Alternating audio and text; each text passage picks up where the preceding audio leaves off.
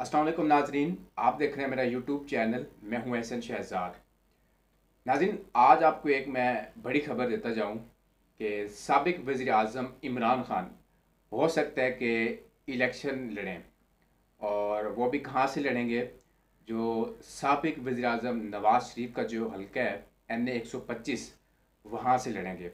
और इमरान ख़ान ने अपने बयान में भी कहा है और उन्होंने अपने स्पीच की है, इमरान ख़ान ने, और उन्होंने कहा है कि जो सबक वज़ी अजम नवाज़ शरीफ का जो हल्का है एन ए एक सौ पच्चीस, जो सांदा गुलशर रावी वाली जो साइड है एम यू कॉलेज वाली जो साइड है, वहाँ से मैं लड़ूँगा और नवाज़ शरीफ को मैं हरा के दिखाऊँगा कि मुझमें कितनी ताकत है।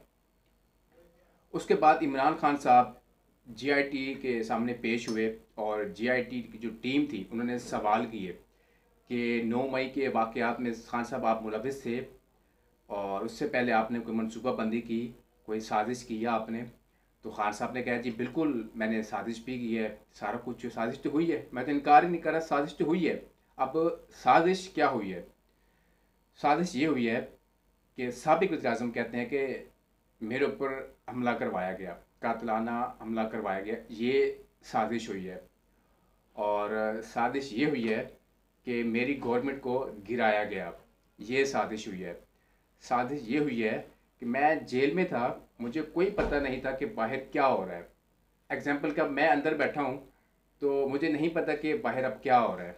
जब कोई शख्स मेरे पास आएगा, कोई आदमी मेरे पास आएगा, मुझे बताएगा, यार, ये कुछ हो रहा है। तब जाके मुझे कोई आइडिया होगा, मुझे पता चलेगा कि बाहर क्या हो रहा है। तो खान साहब ने ये कहा है कि मुझे तो कोई आइडिया नहीं था, मैं तो उस टाइम जेल में था, आपके सामने था, सारे लोगों के सामने था, जेल में था, सबको पता है, इमरान खान साहब जेल में है। साजिश तो हुई है। कातलाना हमला भी हुआ है, मेरी गवर्नमेंट को भी गिराया गया है, मेरे जो कारकुन थे, उनको भी गिरफ़्तार किया गया है और उसके बाद कोर कमांडर हाउस के ऊपर हमला भी किया गया है। साजिश तो हुई है, साजिश मैं इनकार तो नहीं कर रहा, साजिश हुई है। ये इमरान खान के अल्फाज थे। उसके बाद इमरान खान साहब ने कहा कि साजिश हुई है और मेरे जितने भी वज़ीर थे मिनिस्टर थे M P M N A थे उनको पकड़ा गया। उनके घर जाके छापे मारे गए, उनको उठाया गया। उनके बीवी बच्चों को, रिश्तेदारों को उठाया गया। साजिश तो हुई है, इसमें तो कोई शक नहीं है, कबूल कर रहा हूँ, साजिश हुई है। अब क्या चाहते हैं? तो जो जीआईटी की जो टीम थी, बड़ी परेशान हो गई है कि ये खान साहब इतने कॉन्फिडेंस में क्यों बैठे हुए हैं और एक सवाल किया है, एक सवाल की बजाय पाँच जवाब हम मिले हैं। इसकी वजह क्या है आखिर? आप देखें ना डेढ़ सौ उन दो सौ से क्रॉस कर गए हैं। डेढ़ सौ से डेढ़ से दो सौ के ए, उसके जो पर्चे ऊपर हो चुके हैं इमरान खान साहब के ऊपर दो सौ क्रॉस कर चुके हैं। वो खान साहब के साथ ये भी कहा साजिश तो हुई है दो सौ पर्चे मेरे ऊपर हो चुके हैं वो भी इससे भी और हैं। तो ये साजिश है सारी साजिश है ये। साइफर कहाँ से है ये भी साजिश है। सारी साजिश की गई है। अब मसला ये है कि इमरान खान साहब को अब इलेक्शन में आना दिया जाएगा। क्योंकि ये बड़े बड़े लोगों ने दावा भी किया है और ट्वीट भी किया है। हामिद मीर जैसे जो हमारे एंकर है, सीनियर एंकर हैं और एक प्रोग्राम करते हैं निजी चैनल के ऊपर तो उन्होंने भी कहा है कि हो सकता है कि इमरान खान साहब अपने हल्के में इलेक्शन लड़ें और हो सकता है कि वज़ी अजम हमारे इमरान खान साहब हो। और उसके बाद सुहेल वैज साहब, जो हमारे सीनियर एंकर पर्सन हैं जियो टीवी के, उन्होंने भी कहा है कि इमरान खान साहब हो सकता है कम बैक। वापस आ सकते हैं। हमारे वज़ी आज़म हो सकते हैं वो।